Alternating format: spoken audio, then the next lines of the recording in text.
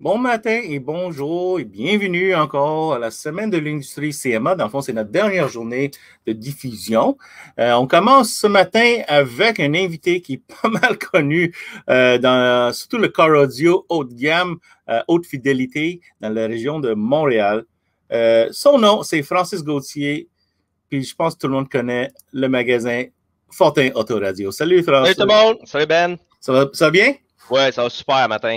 Regarde, euh, on a une vidéo qu'on a déjà préenregistrée à jouer. Ouais. Euh, mais en même temps, je veux juste vous donner la chance de peut-être euh, donner un petit intro à qu'est-ce qu'on va euh, avec cette vidéo-là. Ben, euh, dans le fond, c'est qu'on a eu la chance euh, de rencontrer euh, Monsieur Guy Bonneville, euh, qui, euh, qui dans le fond, conçoit les produits euh, Blam. Donc, à ce moment-là, on a eu une entrevue hyper intéressante là, pour faire le tour, dans le fond, de les différentes gammes, comprendre un peu c'était quoi les, les idées en arrière. dans le fond, tu c'est beau construire des haut-parleurs, des haut-parleurs, mais tu sais, lui, il a comme une philosophie bien à lui. Puis, je pense qu'on ça va être une vidéo qui va être très instructive par rapport à ça. Là. Mais super, ça va être fun. Euh, Blam, Ouais. c'est un produit euh, distribué par MSC de Calgary. Donc, on va jouer une vidéo, puis euh, on va checker ça. Merci. Ex- excellent.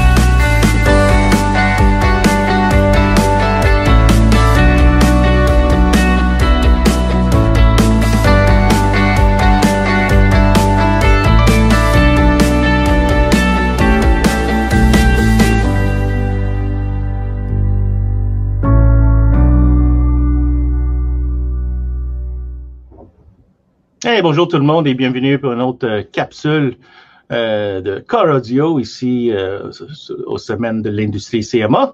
Aujourd'hui, on est avec la gang chez MSA Mobile Solutions of Canada, qui sont des spécialistes en audio, surtout de audio de haute fidélité. J'ai un invité avec moi aujourd'hui qui vient de Québec, Montréal, en fond.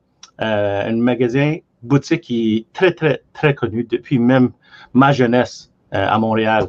Euh, Fortin Autoradio, c'est un des places que tu veux vraiment passer beaucoup de temps si tu es un passionné de car audio. Euh, ça fait des années, des décennies qu'il qui fait ça. Puis euh, je suis très fier d'avoir le directeur général, M. Francis Gauthier, avec moi aujourd'hui. Salut Ben. Hey, salut Francis, ça va bien? Oui, ça va super, toi? Man, j'ai euh, quand j'ai dit les mots Fortin Autoradio, wow, à Montréal, Ouais. c'était une des places euh, légendaires pour Ben écoute, les, de- les- depuis les ma jeune. Depuis ma jeunesse, moi, euh, Fortin euh, aussi, j'étais avant de travailler ici, j'étais client chez Fortin. Euh, tu sais, quand Mm. j'étais jeune, euh, c'était la- le, car audio, ça m'a toujours passionné. Écoute, j'ai eu mon premier système de son dans ma chambre, puis j'avais même pas mon automobile encore. Là, ça peut te donner une idée. Là, fait que c'est sûr que oui, effectivement, Fortin, euh, c'est connu depuis ben, depuis 1972 en, réalité. que, 72. euh, ils sont en affaires. Ouais, exact. Juste pour vous donner une idée, là, j'ai encore une poster promotionnel que j'ai eu euh, d'un représentant de Alpine quand le démo véhicule de Alpine était là dans le stationnement de Fortin. oui, oui. On Dans les de années euh, genre 1987 ou 8. OK. Ouais, c'est des, des classiques, des, des, euh, des old Ouais. school, on dirait. Donc, euh, aujourd'hui, sur le menu, on va jaser d'un- d'une marque euh, de, de haut-parleurs d'enceinte euh, de France. Ouais. Une marque qui est peut-être pas si connue encore, mais c'est sûr que euh, c'est disponible présentement chez vous, chez Ouais, qui, qui, je dirais qu'il gagne à être connu, genre. Ah, OK, parce que je vois tout de suite avec les images que j'ai déjà vues, euh, j'ai pris le temps d'aller visiter leur site web. Puis euh, Blam, c'est une marque, c'est évident que c'est du qualité. Puis c'est évident, de la personne en arrière de ça, il y a beaucoup d'expérience. Et oui, je, je, je le confirme. Donc, c'est qui ce monsieur-là? Ce monsieur-là, c'est quelqu'un qui, qui, a, qui a vraiment une grande histoire dans le monde de Corodio. Euh, puis il a décidé de, de partir une autre marque au nom de Blam. Puis aujourd'hui, live en direct de France, on a monsieur Guy Bonneville, le président de Blam, avec nous en studio. Bonjour, monsieur Bonneville. Et bonjour. Salut Guy. Content de vous voir. Comment allez-vous? Ça va super bien. Puis on est, on est, vraiment euh, excité de jaser avec euh, vous aujourd'hui parce que euh, là, Blam Audio fait, beaucoup de bruit, on dirait. Eh bien, j'en suis très heureux. Et merci beaucoup hein, de m'inviter. OK, excellent. Donc, qu'est-ce où est-ce qu'on peut commencer, Francis? Ben, écoute, c'est sûr que je dirais, moi, présentement, la, si on peut parler un peu de blâme de la façon que c'est euh, que, que c'est arrivé, moi, quand j'ai eu l'occasion d'entendre cette ligne-là pour la première fois, j'ai été euh, extrêmement étonné euh, je dirais, sur euh, la, la, la, différente gamme de produits qu'on est capable de couvrir. Ils ont vraiment une gamme qui est, qui est très, très étendue. Euh, autant pour des, des, clients qui désirent là, conserver un radio d'origine, tout simplement pour améliorer la sonorité des, de, de leur haut-parleur sans aller dans, dans l'ajout d'amplificateurs ou euh, vraiment de, de, de, de, pas, pas de compliquer la situation, mais tu sais qu'on veut rester dans un budget raisonnable où le client audiophile qui rentre, qui lui cherche vraiment là, comme le, le feeling de dire moi je suis quand que j'ai un artiste qui performe devant moi, je veux sentir cette espèce de, chaleur-là, d'aura-là autour. Euh, on est vraiment capable d'aller euh, d'aller selon les, différents produits euh, au travers de la gamme Blam, d'aller couvrir tous les aspects, tous les, les types de clients selon leurs demandes, selon leurs exigences. Avant d'aller de, de, trop en détail, il faut mentionner que les produits Blam sont en partenariat avec MSC au Canada. Oui, exactement. C'est une marque euh, qui est connue, un, distributeur dans le fond, qui est connu pour représenter plusieurs marques de haute gamme, de haute qualité. Puis euh, vous, euh, comme client d'eux autres, qui, qui vendent des produits Blam, dans le fond, au Québec, à Montréal, vous êtes un peu un spécialiste, on dirait, hein, parce que ça fait quand même quelques années que vous avez ces produits-là en magasin. Oui, exact. Ben, tu sais, on va commencer l'histoire un peu du départ. Euh, moi, j'ai eu l'occasion, euh, je dirais, euh, de, de, rencontrer au travers de mon parcours chez Fortin l'équipe de chez Mobile Solution. écoute, c'est des gens qui ont à cœur la, la, la, réussite de ton entreprise. C'est des gens qui, je vais parler exemple pour moi personnellement. moi, quand je suis arrivé dans le domaine, moi, j'étais quelqu'un de passionné, mais je connaissais absolument rien du domaine. Je savais que j'aimais ça, euh, j'étais quelqu'un qui était vraiment désireux d'apprendre, mais euh, j'ai remarqué pour pour être capable d'évoluer dans ce domaine-là, il faut nécessairement que tu aies des connaissances techniques. Euh, puis Larry de Mobile Solution, euh, dans le fond, le président, euh, m'a pris vraiment sous son aile, puis m'a invité à plusieurs reprises euh, dans, dans leurs locaux, à aller participer à des projets, à aller suivre des, cliniques de formation. Puis c'est, c'est ça qui est intéressant parce que j'ai tout le temps senti que c'était, c'était tout le temps fait de bon cœur, c'était tout le temps fait pour m'aider à m'améliorer, on, on sentait pas que c'était oh je veux te vendre mes produits, je veux te vendre mes produits, c'est je vais te montrer comment élever ta game, je vais te montrer comment être capable de répondre aux besoins techniques des clients parce que on s'entend maintenant avec euh, l'évolution dans le car audio des processeurs audio, les, véhicules ça s'en vient de, plus en plus complexe, donc c'est sûr qu'il y a un, il y y a un paquet d'informations importantes que ça prend avant d'être capable de travailler dans ces véhicules-là. Puis euh, moi, j'ai eu l'occasion de, de, de, de, suivre beaucoup de formations auprès d'eux, puis vraiment, c'est on dirait qu'ils disent bon ben écoute, le, fait que je vais lui donner un maximum de connaissances, il va être capable d'évoluer dans son travail et par la bande, ben nécessairement en vendant plus de produits, ben ça va me revenir. On sent on sent vraiment que les choses sont faites dans, dans ce sens-là. Puis moi, c'est quelque chose qui que j'ai toujours euh, extrêmement respecté euh, chez, chez ce, groupe-là. Euh, Larry puis son équipe, c'est sûr que c'est une équipe formidable. Monsieur Bonneville, que pensez-vous de cette équipe-là? Puis c'est quoi votre histoire avec Larry puis l'équipe chez MSC? Alors, euh, Larry, je le connais depuis très très longtemps, euh, pratiquement, euh, je dirais 25 ou 30 ans. J'ose même pas trop dire, sinon ça va me vieillir beaucoup, puisque je l'ai connu dans une autre vie. Et c'est quelqu'un avec qui j'ai gardé des, des connexions incroyables tout au long de ces années, puisque même avant d'entamer notre collaboration Blam MSC, nous étions toujours en contact amicaux Et euh, le jour où on a pu enfin travailler ensemble, c'était vraiment euh, quelque chose d'extraordinaire parce que euh, c'est vraiment le partage d'une passion. moi, je suis très passionné et je pense que Larry et son équipe sont aussi des gens très passionnés. Donc, automatiquement, ça fait quelque chose de très sympa et ça rend le travail comme un grand plaisir avec euh, beaucoup de complicité, beaucoup de fun en même temps, et de sérieux et de professionnalisme. Et ce mix est assez rare euh, et contribue énormément au mm. plaisir de travailler chaque jour. Excellent, excellent. Bon, euh, Blam, quand est-ce que c'était commencé? C'était quoi l'idée en arrière de ça? C'était quoi vos buts? Peux-tu juste peut-être nous raconter un peu l'histoire de Blam? Alors, moi, j'ai déjà euh, une longue expérience dans le car audio puisque j'ai travaillé plus de 25 ans dans une grande société où j'ai créé euh, la division car audio. C'était une société qui faisait seulement des haut-parleurs ici et j'ai créé le car audio dans cette euh, société. Et puis jusqu'en 2012. Et en 2012, j'ai eu envie d'être encore plus à fond dans ma passion et de faire vraiment ce que j'avais envie de faire sans aucune contrainte. Donc, j'ai créé BLAM. Et BLAM, c'est Bonneville Laboratory and More. ah, ok, wow. Ça, je savais pas, par exemple. Ok, j'ai appris déjà quelque chose, j'ai appris quelque chose. Ok, on continue. Et, et en fait, le plus, c'est justement toute cette notion de partage et euh, de d'échange qu'on peut avoir autour de la musique. Parce que euh, ma passion vient de là au départ. Au départ, euh, quand j'étais très jeune, j'étais DJ et j'aimais beaucoup faire écouter du son dans ma voiture, que ce soit à mes copains ou quelquefois des petites amies, pourquoi pas. Pourquoi pas. Et, et en fait, euh, cette, cette idée d'écouter de la musique à quatre ou à cinq dans un gros casque, en quelque sorte, puisqu'une voiture, c'est un gros casque euh, on peut écouter assez fort avec un peu d'énergie et dans un espace confiné.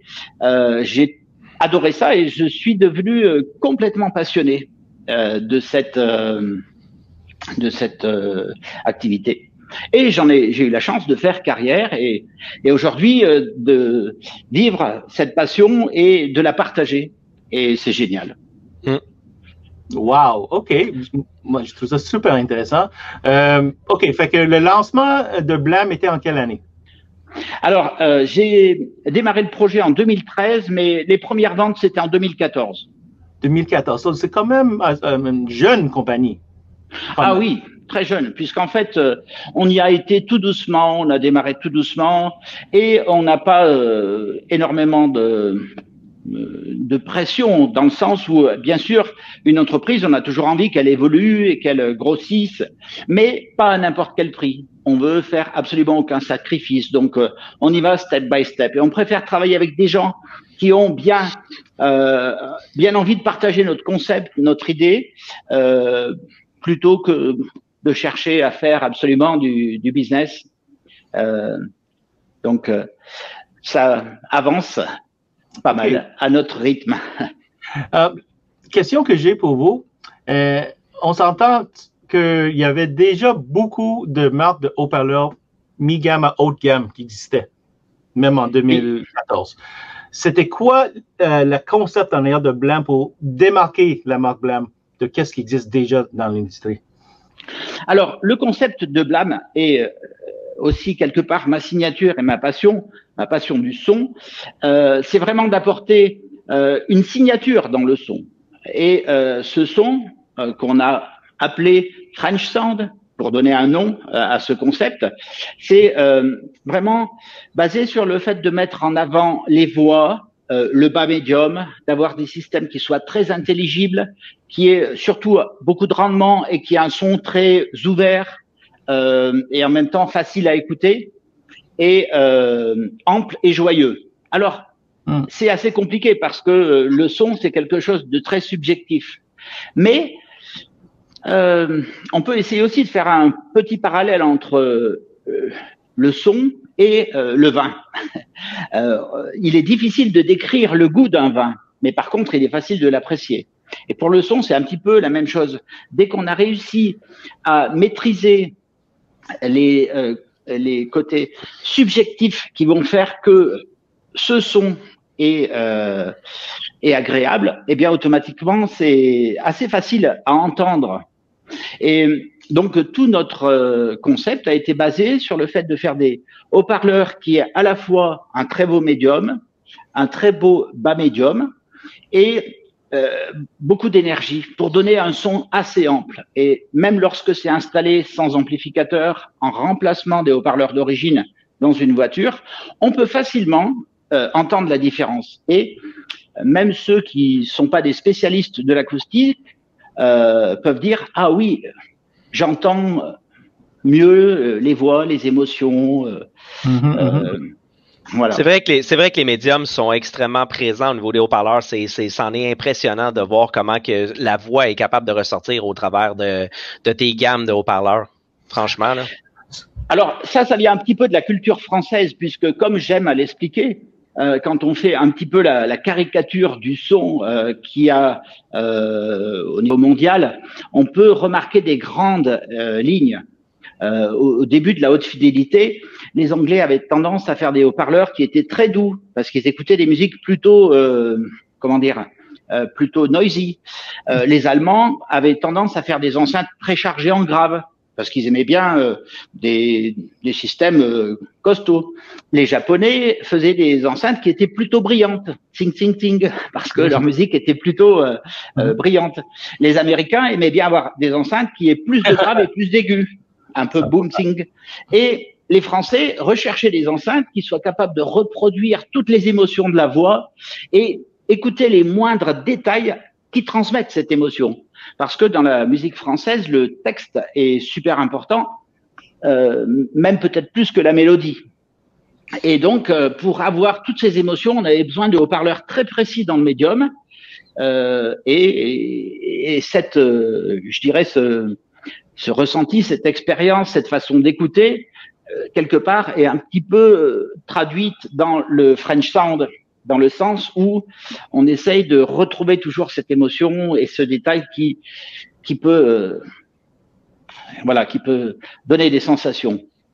Euh, question pour toi, Francis. Souviens-tu de la première fois euh, que tu as testé, essayé les, les, les haut-parleurs blâmes, parce que euh, euh, M. Bonilla vient de vraiment décrire ça avec... Euh, avec du cœur. avec du cœur, fait que j'aimerais juste voir tes sentiments vers ce qu'il vient de dire. Euh, ben, moi, je suis vraiment d'accord. Euh, le, le haut-parleur blâme, c'est un haut-parleur qui, euh, je dirais, peu importe la gamme que tu vas aller sélectionner, que ce soit relax, la gamme live, la gamme signature, c'est un haut-parleur que je sens que la, la comment je pourrais dire ça, la voix sort de manière naturelle, mais vraiment très prononcée. On sent énormément le mid qui sort du haut-parleur. Puis souvent, ce qui est intéressant de ça, c'est que les, les gens, quand on installe un système, euh, règle générale, vont combiner ça avec un subwoofer pour être capable d'aller chercher vraiment les, les basses fréquences. Donc, quand on a un mid qui est autant présent que ça, c'est qu'on a un mid qui est capable de venir à côté, euh, je dirais, le, le, le, niveau de puissance qu'un subwoofer va faire pour avoir vraiment un son qui va être là, très linéaire, très mm-hmm. complet. Donc, on est vraiment capable d'aller chercher là, l'émotion dont Guy parle, moi, je la comprends parce que je suis, un des privilégiés qui a, quand même un bon système dans son véhicule. Puis moi, un haut-parleur, quand j'écoute des chansons puis que je sens le, le, le, le goosebump, je sens les frissons qui me traversent la peau, c'est là que je sens que j'ai un haut-parleur qui est vrai. On dirait qu'il n'y a pas de filtre entre l'artiste qui me performe la chanson et le, le haut-parleur qui est capable de, me donner ce rendu-là. Là. Et, et pour les détaillants, c'est très important parce que pour un client qui veut juste faire un, un upgrade de, de, de parce que souvent c'est ça, hein, c'est je, je, veux juste entendre la voix un peu plus. Oui, exact, c'est ça. Fait que si les haut-parleurs blâmes donnent ça, automatiquement la, la réaction euh, des clients va être très satisfaite parce que c'est la première chose qu'il va entendre, c'est qu'il va avoir plus de voix, plus de clarité, plus des mid, comme on disait. Euh, Excuse-moi, euh, euh, M. Guy, je pensais que vous, tu dire quelque chose? Euh, oui, non, je voulais juste rajouter aussi que, euh, en plus de cette euh, voix, euh, j'accorde aussi beaucoup d'importance au niveau et à la dynamique parce que j'ai été DJ, j'ai fait du club, je sais ce que c'est d'envoyer du son et j'aime avoir du son. Donc, euh, j'aime faire des haut-parleurs aussi qui jouent relativement fort avec un, un, un bon euh, kick et euh, un bon, un bon kick de bass. voilà. Du punch, on dirait du punch. Voilà. Ouais. Il faut que ce soit vivant aussi. Excellent. Euh, moi, ce que j'aimerais faire, c'est peut-être euh, mettre quelques images sur l'écran. On veut vraiment regarder la ligne au complet, toutes les gammes, toutes les séries euh, que vous offrez dans, les produits Blam. Euh, donc, on peut peut-être commencer avec ça ici. Donc, ça, c'est la série Relax. il y a combien de séries en total? Alors, il y a six ou sept systèmes, huit peut-être, parce que quand même, il y a différentes options. Au Canada, français, je pense que c'est simplifié un petit peu. Hein? Euh, oui, ben principalement, on travaille, les, c'est vraiment les, les, trois gammes principales sont vraiment la gamme relax. Euh, on a la gamme live qui vraiment, euh, selon moi, et c'est là que la magie commence à, s'opérer. Là, c'est, c'est très impressionnant. Et on a euh, pour les, les gens qui sont audiophiles ou même les gens qui veulent juste vivre une expérience euh, complètement hors, de l'ordinaire, on s'en va avec la gamme live à ce moment-là. Fait que ça, c'est plus, ok, admettons, on regarde le série relax. Est-ce que ça, c'est plus comme un entrée de gamme, un entry level? Ouais. Euh, relax, relax, qui est plus l'entrée de gamme. On a vraiment le milieu de gamme qui est euh, la gamme live qui va vraiment tout couvrir. Puis par la suite, on peut s'en aller vraiment dans des haut-parleurs qui sont plus haut de gamme, plus hi-fi avec la série signature. D'accord. Euh, donc, Guy, pourriez-vous peut-être me décrire un peu les détails puis les features de la série Relax, s'il vous plaît? Alors, la série Relax était vraiment conçue au départ pour facilement upgrader n'importe quel système sans forcément avoir besoin de changer l'autoradio ou l'amplificateur, parce qu'il y a beaucoup de voitures où c'est très très compliqué de changer euh, l'autoradio et, et l'amplificateur, mais en changeant seulement les haut-parleurs, on peut déjà avoir un résultat hyper intéressant. Et on a appelé ça euh, relax parce que euh, c'est des produits qui, bien sûr, ont de la dynamique, un beau médium, mais en plus qui sont euh, très doux. Il n'y a pas d'agressivité dans l'aigu. C'est un système très facile à écouter et euh, on a cette notion de, de relax dès qu'on va euh, installer correctement ce système, même sans écouter hyper fort. On va avoir de l'ampleur, de la scène sonore et tout ça euh, relativement simplement. Et c'est pour ça que Relax a un succès euh, incroyable parce mmh. que on a un bénéfice immédiat lorsqu'on l'installe. Et on peut faire ça euh, dans beaucoup, beaucoup de voitures. Euh, on a beaucoup d'exemples où les gens vont juste changer les haut-parleurs euh, d'une Golf, par exemple, et mettre ça. Et ah, tout de suite, waouh, ça y est, je retrouve un peu de vie, je retrouve un peu d'énergie, du médium, de la voix. Et c'est c'est ça qui est intéressant. Mais ça, m'amène à te poser une question, Guy, par rapport à ça. J'aimerais ça savoir que le, côté technique, c'est quoi les points forts au niveau design de ce haut-parleur-là? Qu'est-ce que qu'est-ce que tu as fait pour que qu'il puisse permettre de, de, performer comme ça? Alors, il y a beaucoup de, comme on le disait, il y a beaucoup d'expérience et il y a beaucoup de choses très spécifiques. Euh, en particulier, euh, on a essayé déjà de dessiner des haut-parleurs qui avaient euh, une réponse en fréquence très naturelle sans trop de filtrage ou pratiquement sans filtre, par exemple comme sur le, le RS. Euh, donc pour ça, on a fait des cônes avec un profil particulier. On a utilisé une suspension qui est assez euh, intéressante puisque c'est une mousse euh, de caoutchouc qui est très rare. Et nos haut-parleurs en plus ont des impédances euh, relativement basses d'environ deux ohms, ce qui permet à l'autoradio d'origine de délivrer pratiquement deux fois plus de puissance. Donc automatiquement, on a un rendement euh, beaucoup plus élevé, on a pratiquement le double d'énergie, euh, puisque 3 dB c'est deux fois plus fort. Euh, et comme on a des rendements très élevés, automatiquement, ça joue beaucoup plus fort que le haut-parleur d'origine. Hmm. Sans aucun risque, bien sûr, pour euh, l'autoradio. Ouais, ça c'est important de le mentionner parce que des fois, tu sais, les gens, les gens ont tendance à penser que travailler avec des haut-parleurs de 2 ohms, ça peut endommager un ampli. Donc nous, tu nous certifies. Ben, écoute, moi personnellement, j'ai jamais vécu aucun problème avec ça, étant donné qu'une impédance est variable. Mais peut-être que tu peux nous en dire un petit peu plus. Exactement. Euh, sur un 165 RS, la RE minimum, c'est-à-dire la résistance minimum, est de 2,3. Donc il n'y a absolument aucun problème parce que tous les étages euh, de puissance des autoradios peuvent supporter jusqu'à 2 ohms. Donc il n'y a absolument aucun problème. Et aussi, comme le rendement est très élevé, ben, on a tendance à mettre beaucoup moins fort sur l'autoradio. Mmh. Donc ça compense et on peut écouter euh, très longtemps sans aucun souci. Euh, sur n'importe quel euh, véhicule. Et puis l'aigu, pour euh, l'aigu, on a utilisé aussi des tweeters soft dome de très très haute qualité avec un dôme en tissu, avec un tissu japonais d'ailleurs, qui est d'une très très grande qualité. Et donc on a quelque chose qui est très soyeux, qui est assez dynamique et surtout qui est très doux, très doux et qui va euh, éviter la fatigue. Euh, on peut écouter très longtemps sans être agressé euh, et ça c'est vraiment un des points forts aussi de, de nos systèmes. Mmh. Aussi, pour en revenir à la, à la qualité, le fait que les haut-parleurs aient naturellement une bande passante très douce avec une coupure très douce. Le mix entre le woofer et le tweeter, même s'ils sont éloignés de 50 cm, se fait vraiment très très bien. Et mmh. on a justement une très belle fusion entre les deux. On n'a pas d'espace. Voilà, on n'arrive pas à localiser le tweeter ni le woofer et on a de l'ampleur euh, sur la scène sonore. Pour développer ces produits, on a beaucoup travaillé euh, avec une méthode euh, audiophile dans le sens où on a fait des mesures, mais surtout on a écouté et à chaque fois, on a comparé et on a corrélé les résultats euh, à l'écoute pour arriver à un résultat vraiment euh, super sympa dans la voiture. On l'a pas étudié que dans un labo, que sur un présentoir. Ça a été vraiment étudié dans la voiture avec des heures et des heures d'écoute et de mise au point pour arriver à ce résultat. OK, OK? Puis je voulais peut-être prendre un peu l'occasion aussi de te demander, parce que j'ai vu qu'il y a le nouveau subwoofer de la gamme Relax qui vient de sortir, qui est vraiment un, un, un sub ultra plat.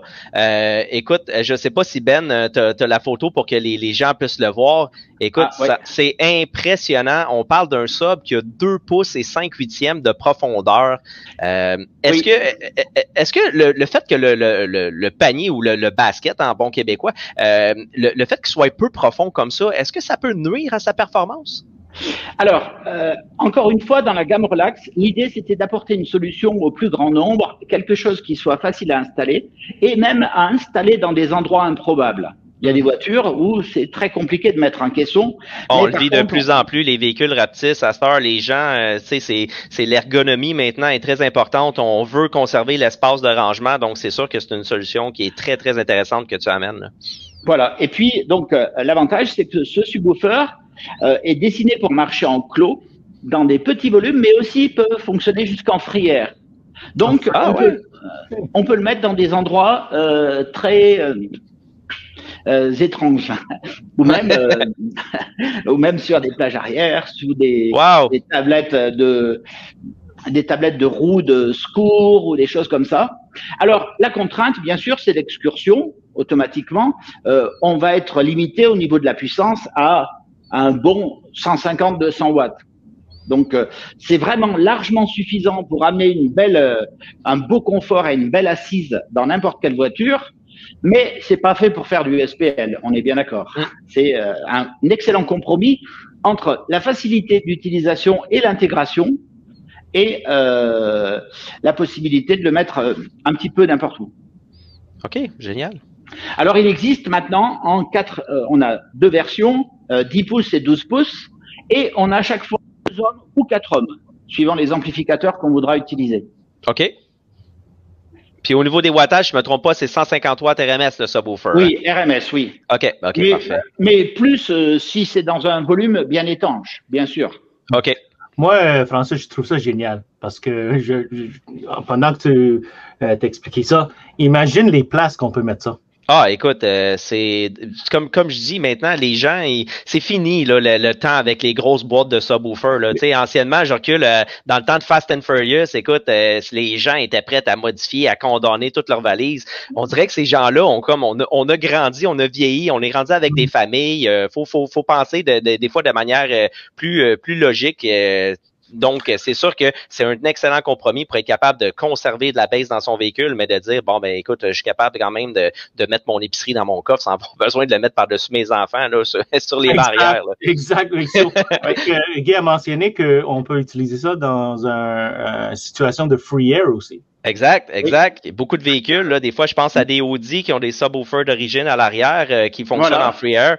Des fois, euh, maintes fois, j'ai entendu des clients qui ont qui, qui ont endommagé leur subwoofer, puis anciennement, il fallait leur dire, ben écoute, euh, on faut faut qu'on te mette un sub là, mais pour qu'il performe de manière adéquate, il va falloir qu'on construise une boîte en dessous. C'était complexe. Écoute, ce sub là vient régler euh, un paquet de mots de tête selon moi là. C'est plus une solution que n'importe quoi. wow. Vraiment cool. Bon, euh, là, on tombe sur le live. Ouais, live. Euh, wow, on voit tout de suite qu'il y a un upgrade euh, pour les. Je vois physiquement qu'il y a beaucoup plus de features euh, pour cette série-là. Euh, je sais pas, vas-y Francis, peut-être poser une question. C'est, c'est ben écoute, euh, moi personnellement, live, euh, c'est là vraiment que je trouve que la magie s'opère. Écoute, euh, on a des, des haut-parleurs. Ce qui, est, ce qui est intéressant, c'est qu'on est capable d'aller chercher, je dirais, n'importe quel type de client qui a n'importe quel goût musicaux avec ça. Il faut juste être en mesure de poser à son client les bonnes questions. Puis on est capable de l'amener là dans, dans, dans, dans quelque chose de, de d'extrêmement, je dirais, performant puis impressionnant.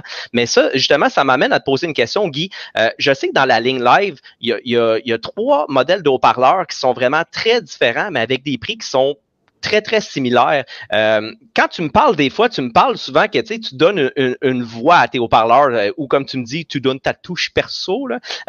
Qu'est-ce que ça veut dire, ça, techniquement, de donner une voix aux haut-parleurs? Alors, quand on a développé les haut-parleurs, on a euh, écouté euh, sur un, immense panel de musiques euh, différentes et, variées. Et le compromis était toujours un petit peu difficile à trouver, dans le sens où la précision dont on a besoin pour écouter de la musique purement acoustique sur sur du jazz, sur des choses un peu raffinées, et pas forcément un avantage si on veut écouter de la grosse techno qui pousse euh, ou du disco un peu fun. Donc, euh, en fait, on a vraiment fait des choix. Alors, le système euh, acoustique, c'est vraiment le, le, produit de base qui marche surtout et qui est euh, très très précis, très intéressant, très bonne tenue en puissance et, et c'est un, un, produit vraiment euh, très sympa à utiliser. Et puis euh, à côté de ça, on a, euh, moi j'ai toujours à l'esprit le son des années 80 où on avait des très grosses enceintes, enfin 80, 90, on avait des très grosses enceintes avec beaucoup de rendement et avec un son super chaud, un son un peu vinyle, un peu euh, un peu vinyle, un peu analogue, voilà. Et pour ça, donc, euh, on a fait un produit dédié qui s'appelle le LSQ, qui utilise lui une membrane en fibre de cellulose chargée en fibre de bambou et qui donne un son euh, vraiment euh, très ouvert, peut-être un tout petit peu moins contrôlé que sur la version acoustique, parce que euh, automatiquement il y a moins de rigidité, donc c'est moins précis, puisque la, membrane, la, la membrane des euh, Live 165A est en fibre de verre composite, donc très rigide, et sur le live, euh, la membrane est différente, le filtrage est différent et on a un son euh, à la fois plus chaud, avec un peu plus de rendement, mais peut-être un petit peu moins de contrôle. Donc, euh, on a vraiment euh, quelque chose de très sympa aussi. Et puis, la version live euh, power, là, on a vraiment favorisé la tenue en puissance pour ceux qui veulent du kick, mettre un, ah, bon ampli et avoir quelque chose qui soit euh, très tenu, sans distorsion, avec une bobine beaucoup plus longue pour avoir plus de X-Max et plus de contrôle. Donc, euh, un rendement un petit peu plus bas, mais qui est compensé aussi par la taille de la bobine. Donc, euh, on a vraiment ciblé trois concepts et on a offert cette possibilité de choisir parce que il y a beaucoup de marques qui font un produit gris, un produit jaune, un produit bleu, un produit vert, avec un prix à 200 dollars, 300 dollars, 400 dollars, 500 dollars, 600 dollars, mais ça sonne tout pareil. Ouais. Euh, et nous, on n'est pas dans cette optique. On n'est pas dans l'optique de faire du marketing euh, euh, technologique ou technique. On est dans l'optique euh, d'arriver à donner un produit quand on l'écoute. Ah ouais, on a des sensations et on aura euh, la possibilité d'avoir des sensations plus adaptées aux besoins de, de, des goûts musicaux du client. OK, OK. Euh, Francis, euh, deux choses. Première des choses, je vois sur les spécifications que même la série Power, euh, l'impédance est différente. Oui, exact. Deux ohms, trois ohms. Puis même la Max Power est différent aussi. Ils montent jusqu'à 180 watts Oui, c'est des haut-parleurs qui sont capables de prendre extrêmement euh, d'énergie. Euh, c'est sûr qu'il y a toujours, euh, bon, évidemment, une bonne, une bonne calibration sonore à faire là-dessus, mais je dirais que pour les gens amateurs de musique électronique, le live, le 165p est un incontournable. J'ai plusieurs clients qui ont installé ça dans des véhicules, puis je dirais, l'expression sur le visage veut tout dire là, quand, la musique joue. Là. Mais, mais qu'est-ce que j'adore de tout ça? Qu'est-ce que j'adore de tout ça, c'est que pour moi, c'est la première fois que je vois euh, euh, une ligne de produits dédiée à des types de sons différents. Ben, c'est ça qui est le fun. Le, client se sent vraiment pris en charge parce que quand on a trois modèles de haut-parleurs à même prix, ben c'est rendu là, c'est pas, c'est plus une question de ah ben là tu veux juste me vendre ce qui est plus cher. Ce qui non non, c'est j'ai un haut-parleur du même prix. Maintenant, monsieur, quel, quel type de musique vous préférez? Est-ce que vous écoutez principalement de la musique faite par des instruments de musique ou vous écoutez plus de la musique faite par des ordinateurs, de la musique électronique? Et de là, on est même capable de démontrer la différence en écoutant les haut-parleurs. Puis écoute, c'est vraiment un succès. Mais ça, ça m'amène à une question aussi, parce que je le sais que dans la gamme live, Guy, euh, tu as deux haut-parleurs médium, dans le fond, des mid-range de, de 3 pouces, puis tu en as un nouveau aussi qui est de 2 pouces. Est-ce que tu pourrais, euh, je vais, si tu me permets même, je vais pouvoir les montrer un petit peu à l'écran. là. Euh, extrêmement intéressant comme, euh, comme produit. Le design est vraiment fabuleux, selon moi. Mais est-ce que tu pourrais nous expliquer un petit peu comment bien les utiliser? Alors, euh, il y a beaucoup de voitures aussi où, euh, en particulier dans les SUV, on a euh, le woofer qui est en bas de la porte et le tweeter qui est en haut, et c'est c'est assez difficile de faire le raccord entre les deux. Ça crée un trou au niveau du son, là. Voilà. Donc, on peut rajouter cette troisième voie, donc soit avec le 80, soit avec le 50. Donc ça, c'est une utilisation dans le cas d'un système trois voies avec un médium. Mais il y a aussi beaucoup d'intérêt à utiliser le LFR 80, par exemple, euh, comme un vrai wide range, un vrai full range. Ok, euh, ok. Parce que c'est un haut-parleur qui va démarrer très bas, à 250 Hz à peu près. Donc on a encore toutes les tonalités, les harmoniques de la voix, et qui va monter jusqu'à 25-30 kg. Avec un aigu avec un aigu très intéressant. Donc, je prends, je prends, un exemple euh, des véhicules. Exemple, nous, ici, en, en, Amérique du Nord, au Québec, on a des véhicules Dodge Chrysler qui souvent vont venir euh, vraiment, au niveau du tableau de base, ça sera pas des, des, des tweeters de 0.75 pouces ou 1 pouce. C'est vraiment des, des plus gros haut-parleurs, des fois 2, 3 pouces. Donc, à ce moment-là, c'est un haut-parleur que je serais capable de, de, remplacer directement, puis ça pourrait faire sortir euh, mes aigus comme un tweeter le ferait. C'est ça que tu me dis? Voilà. Par contre, l'inconvénient, c'est que c'est assez directif. Donc, idéalement, il faut le mettre sur un support et orienté vers le revendeur, vers le, pardon, vers le l'auditeur. Ouais, ouais, Ok, ok. Euh, c'est ça. Il faut qu'il soit plus ciblé là. Voilà. Si on veut l'utiliser sans Twitter, mais euh, je vais prendre l'exemple du LFR 80. Euh, j'ai encore euh, un ami à qui j'ai installé ça dans un Mercedes euh, classe V sur le tableau de bord. Euh, dans des supports, puisque maintenant on a des supports dédiés qui s'appellent les OS 80. C'est tout nouveau. Euh, On pourra les montrer tout à l'heure. Euh, et on a vraiment euh, quelque chose de super intéressant puisqu'il n'y a plus de liaison entre le médium et le Twitter, puisque c'est le même haut-parleur qui fait tout. Ah, ok. Et, et ça, c'est très intéressant parce que ça donne beaucoup d'émotions, ça donne quelque chose de, de, de, vraiment ample et sans distorsion, sans problème de phase entre les deux. Euh, et pour le 50 aussi. Et l'autre avantage, c'est que ces haut-parleurs ont des courbes de réponse naturelles très très plates et euh, qui vont très très haut, et on peut les utiliser souvent euh, dans des systèmes qu'on peut dire 2 plus 1, c'est-à-dire deux voix, woofer médium, et éventuellement un super tweeter avec, mais sans avoir à couper en low pass le médium. Ah, ok, ok. Ah, génial. Puis euh, il y a un autre, un autre produit que j'aimerais te parler parce que je sais que c'est un nouveau produit qui, qui, a fait vraiment un grand succès. Euh, j'aimerais ça te parler du, euh, du composante, dans le fond, le 8 pouces, le L200P. L200P. ah ouais, écoute, est-ce que tu pourrais me parler un petit peu de, de, de sa conception? Alors là, c'est un 8 pouces assez plat, euh, parce que euh, il y a beaucoup d'emplacements dans les portières maintenant, dans les Porsche, dans les Audi, dans dans les certaines euh, japonaises aussi où il y a du 20 cm mais avec peu de profondeur.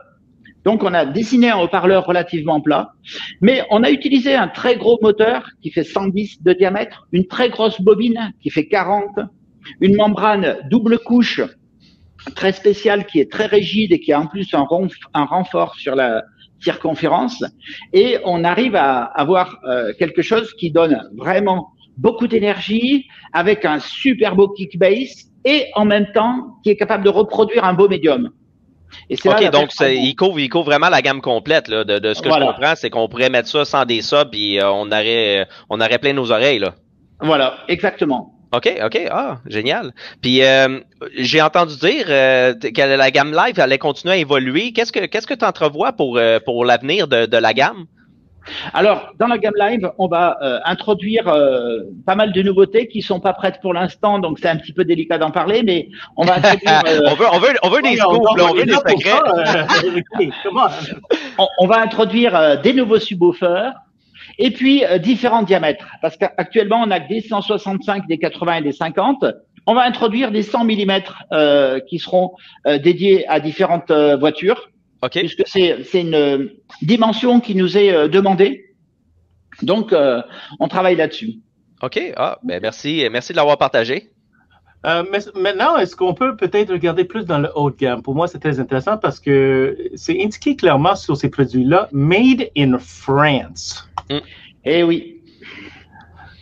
La gamme signature. Euh, la signature, j'imagine, on, est, on rapproche le haut de gamme. On regarde la cerise sur le Sunday, ça, je dirais. Euh, ça, c'est vraiment un style audiophile, sans doute. c'est évident. wow. Alors, alors, ce qu'il faut savoir, c'est que comme tous les haut-parleurs Blam, euh, tous les composants sont étudiés et fabriqués par nous, euh, comme les, vous voyez les magnifiques euh, châssis euh, de la série euh, Signature.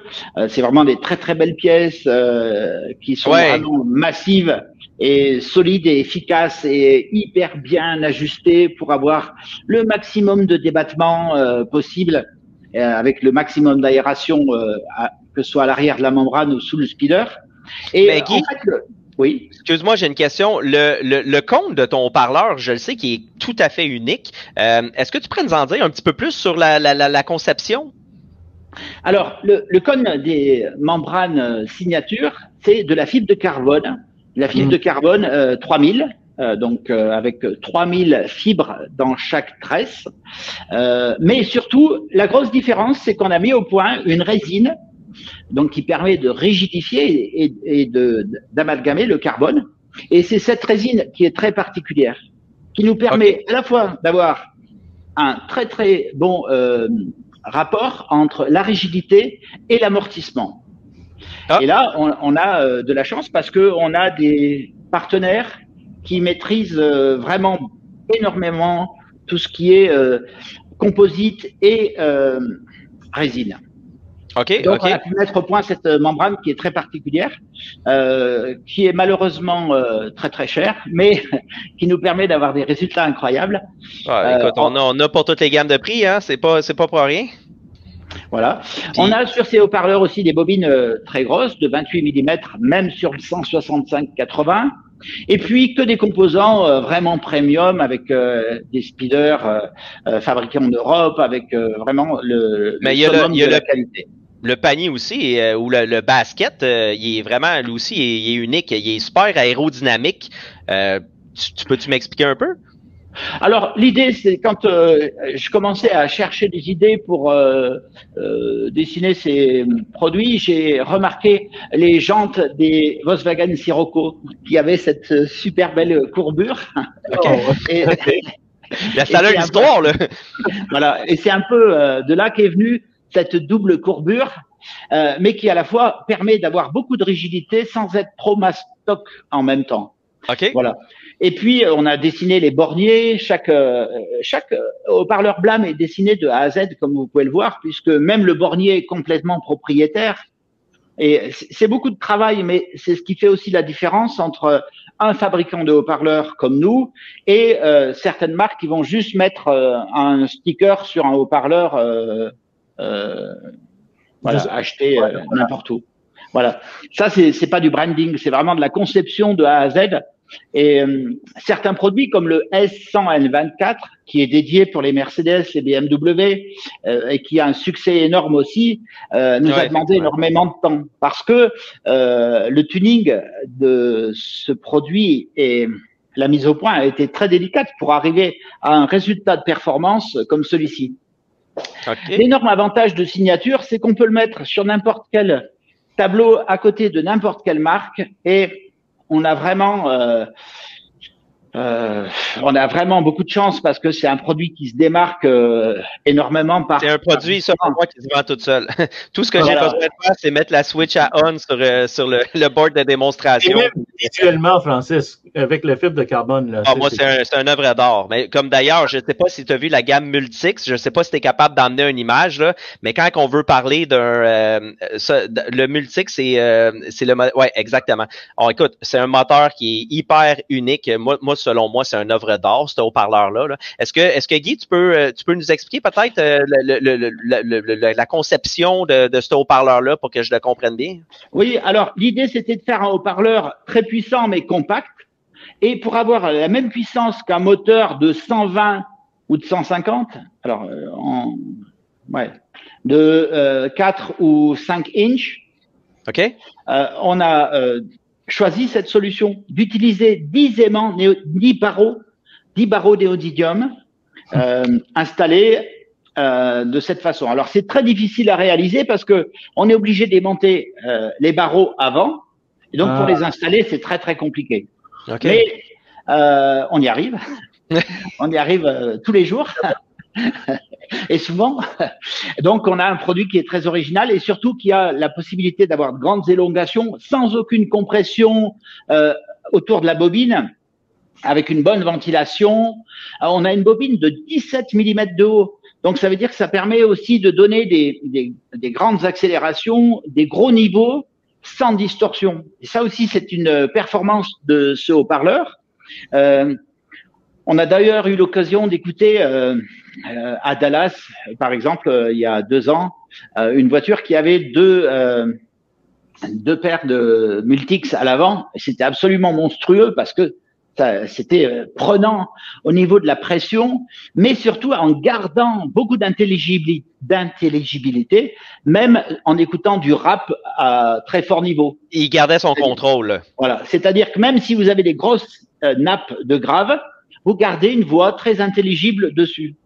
Parce que la bobine reste encore bien, bien euh, centrée, bien contrôlée. OK, OK. Ben, merci des explications.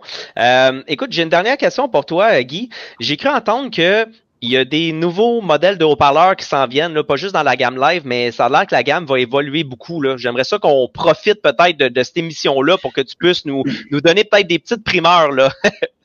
Alors, pour l'instant, on a surtout des, deux nouveaux modèles qui vont être vraiment très sympas dans la gamme euh, signature.